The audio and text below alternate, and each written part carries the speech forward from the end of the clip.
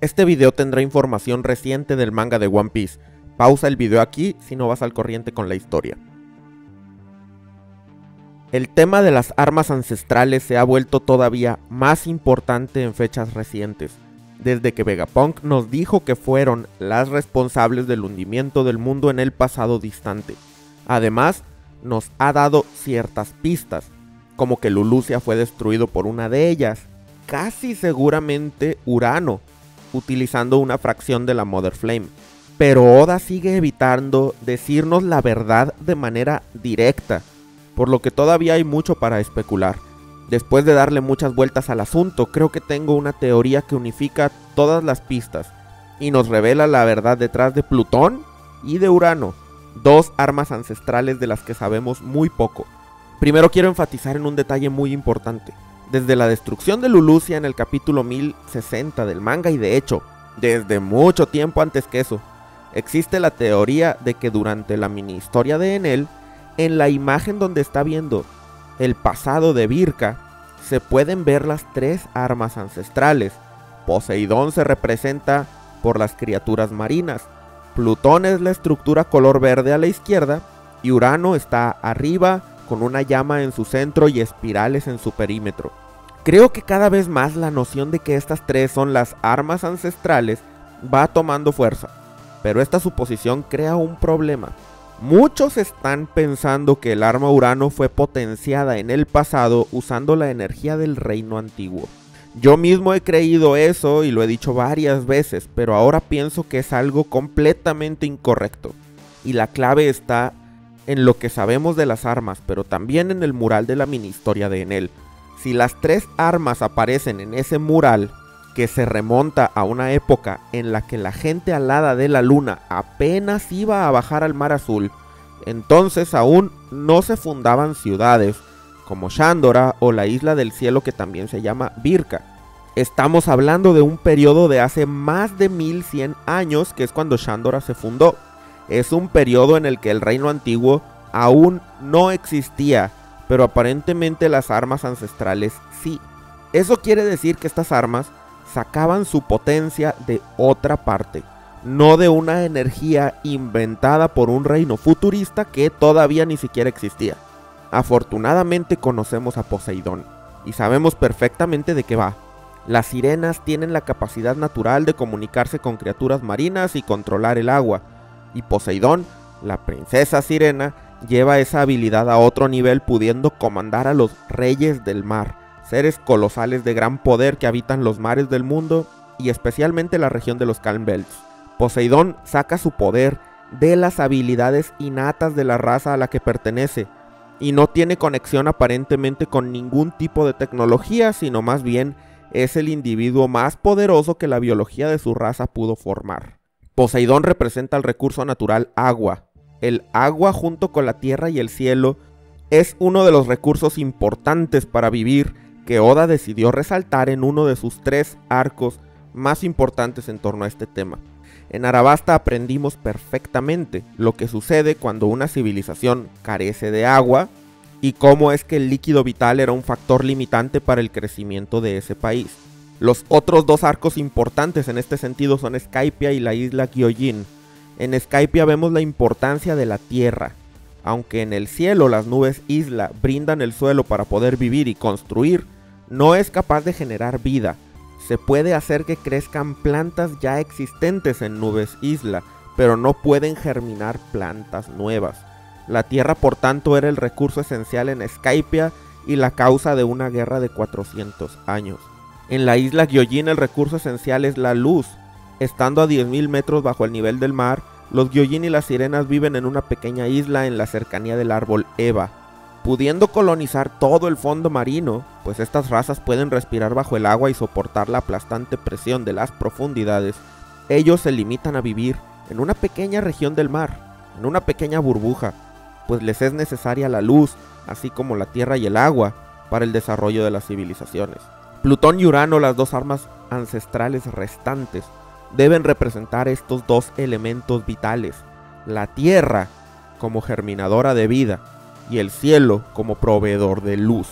El dios Plutón en el mundo real es el dios del inframundo, pero no solamente eso, También representa la riqueza del subsuelo, tanto en minerales como en su capacidad de producir plantas. Urano es un titán de la mitología griega que representa el cielo, y en One Piece esta arma debe simbolizar la luz, el componente crucial del que los Gyojin carecen. La Mother Flame brilla con intensidad al punto de dificultarle la vista a Saturn en su presencia. A donde quiero llegar es que si Poseidón toma su fuerza de la naturaleza, Plutón y Urano también lo hacen. No son armas de alta tecnología, ni su creación tuvo que ver con el reino antiguo. Empecemos por Urano. Tengo la teoría de que la Mother Flame es en realidad un organoide. Vegapunk pudo crear a través de las muestras de factor de linaje de King un cultivo celular capaz de producir la llama característica de la raza lunaria. Este organoide produce calor y luz constante siempre que se le provea del medio nutritivo necesario para mantener las células con vida, y esa es la razón por la que la llama está sumergida en un líquido. La Mother Flame por tanto es una imitación de Lunaria, no demasiado distinta a los serafines, pero quien daba su poder al arma Urano original era por supuesto un Lunaria genuino y no solo eso, el más poderoso de todos ellos. Así como Poseidón es la sirena más poderosa, tal vez existió un Lunaria tan fuerte que su fuego era completamente distinto y superior al que podía producir el resto de su gente. Esta capacidad de crear fuego vino por evolución, por un proceso natural que hizo que esta raza tomara un camino que les dio apariencia y poderes únicos, y Urano era el más fuerte de todos ellos con la raza lunaria casi extinta, aunque el gobierno hubiera podido apoderarse de Urano, su activación resultaba imposible, al menos hasta que Vegapunk pudo crear la Mother Flame. Es más, la investigación de King se hacía en Ponjazar. Era un proyecto aprobado por el gobierno que quizá tenía como fin último precisamente encontrar la forma de activar Urano. Recordemos que el gobierno ofrecía 100 millones por cualquier información sobre la raza lunaria. Aunque Vegapunk investigaba para producir energía para todos, el objetivo del gobierno era un secreto que ni el científico conocía. ¿Cómo fue que la raza lunaria logró dominar el fuego? ¿Quién sabe? Pero quizá estamos viendo el proceso en tiempo real a través de uno de los personajes principales de esta historia, Sanji. Desde Enies Lobby, él ha comenzado a producir fuego, cada vez con mayor eficiencia y potencia. El Diable Yambe se volvió Ifrit Yambe, y eliminó la necesidad de girar para generar fricción ya desde hace tiempo. Queen no puede creer que Sanji cree fuego de la nada, es muy extraño, dice él, y especula si tendrá algo que ver con la raza lunaria. Incluso los fans teorizan que George usó factor de linaje lunaria en su modificación genética, pero yo no apoyo esa idea. Nadie le da crédito a que Sanji atribuye su creciente manipulación del fuego a su pasión, a sus sentimientos intensos, pero creo que él tiene razón y esa es la clave. En un mundo donde existen frutas del diablo, Haki y Clavautamans, un hombre que se caracteriza por su intensidad a la hora de sentir y de actuar, uno que de haber sido el debilucho de sus hermanos pasó a ser un pirata de élite en el mundo, es a mi parecer alguien a quien debe dársele crédito y tal vez hacerle caso a la hora de escucharlo describir el origen de sus poderes. Para mí, Sanji eventualmente dominará el fuego, tal y como un Lunaria lo hace.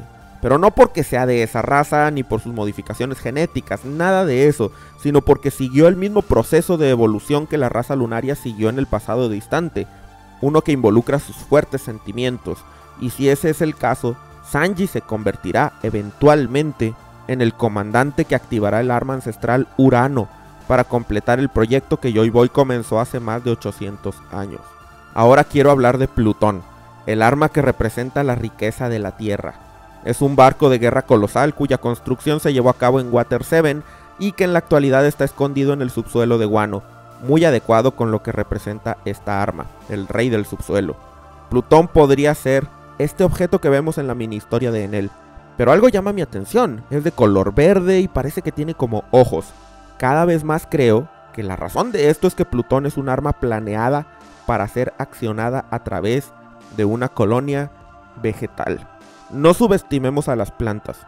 Una de las criaturas más colosales de todo One Piece es el archipiélago Boyne, formado por una especie llamada Stomach Baron, de un tamaño comparable al de una isla.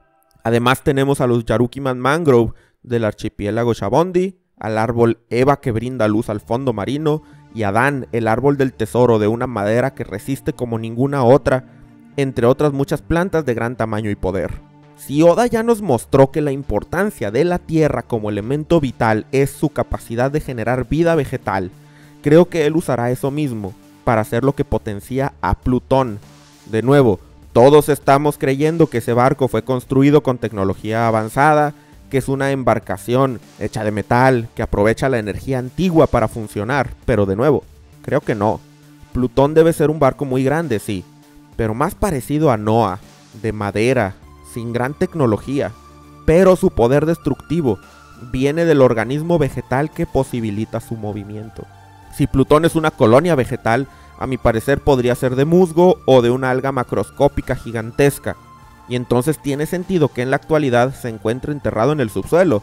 Al no recibir luz, está en un estado de hibernación, esperando al momento de salir y despertar para cumplir su función ancestral. A mi parecer, lo que se construyó en Water 7 fue toda la estructura del barco, pero para que funcione necesita de la vida vegetal que la Tierra otorga, algo que no puede replicarse tan fácilmente. Aun y cuando se usaran los planos para hacer otro barco, sin ese elemento no sería posible accionarlo, así como Urano no se puede usar sin una llama suficientemente potente.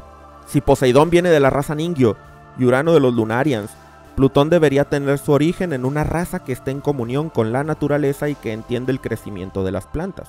Esa raza podrían ser los enanos y en específico la tribu Tontata, aunque bien podría ser otra, una que a su vez enseñó a los Tontata a vivir en armonía con los bosques.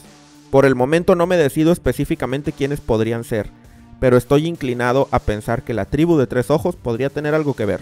Pero tú escríbeme en los comentarios tus candidatos favoritos para esta raza manipuladora de plantas. Sea cual sea el caso, si le dimos a Sanji el título de Urano, solo resta decir que aquel que podría comandar Plutón será nada más y nada menos que el Marimo favorito de todos, el Green Mom, el Green Kaido, Roronoa Zoro. Para empezar, sería muy chistoso que el apodo de Marimo, que es una especie de alga, terminara teniendo un significado más profundo, pero no se trata solo de eso. Zoro está en el camino para convertirse en el rey del inframundo según sus propias palabras, y Plutón, como dije antes, es un dios que se ha interpretado tanto como la representación del más allá, del sitio al que van los muertos, pero también literalmente del subsuelo y de sus riquezas naturales. Y Zoro ha mostrado una habilidad que jamás se ha vuelto a tocar en la historia, que parece que nadie más tiene de hecho, escuchar el aliento de las cosas. Estando a punto de morir, él nota que todo emite un aliento, pero las cosas que él enlista son tres en particular.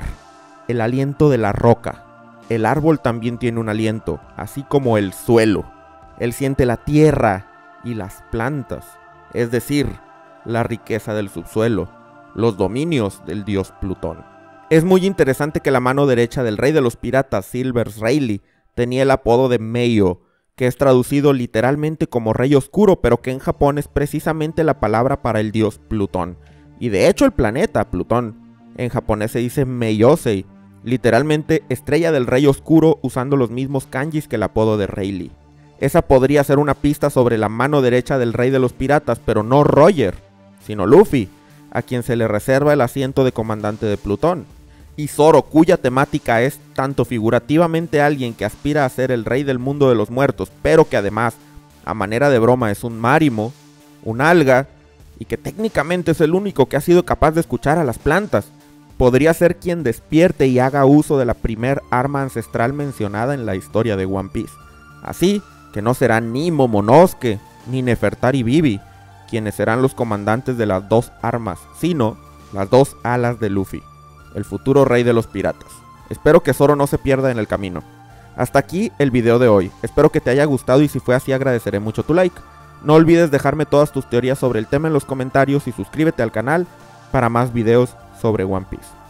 A continuación agradezco a todos los miembros del canal por su apoyo. Ramón Parry, Isaac David Ginas, Luis Mira, Iván Terreseundos, Cristian Ledesma Candás, Alejandro González, X, Waldo, CH3Z93, Oscor 25, Chofócrates, Jarayuco 1, López, David Dionisio, Roberto Sea, Mugiwara Ocelot, Soy Dani Barrios, Agustín, Eduardo RS, Mainera, con Lucas Núñez, Diego Ahumada, Gonzil, Félix Ale, Enrique Molina, Miguel Cuda, Cops, Vaca Banana, Sincro GR, Fiorella Paulini, Fede González, Jessica Pérez, Héctor de Mosquiño, Jerónimo Angiolillo, Yof Kun, Gerhard de Mr. Don Lufito, Brian Kissinger, Cosas B, Emi, Mauricio, O Humano, Tiago Suárez, Hanna Pedro Teruel, Sari Aguilar, Kep 06, Jack de Pájaro, Seb de Yolide, Dia de Pescazur, Leme La Mente, Miguel Pérez, Gibran Villa, Leax Q, Benjamín Bustos, Oscrack 04, Víctor Ponce, Andrés Yart, Federico Juárez, Alejo Cristian Ignacio Zúñiga, Ángel Salazar, César Omar, PX Flampe, Adrián Duarte, Juanini, José Enríquez 333, Jonathan Javier Fonseca Aragón, Nicolás Pino, Mane Osmanimata, Belino Host, Charles de Ray y Federico Greco.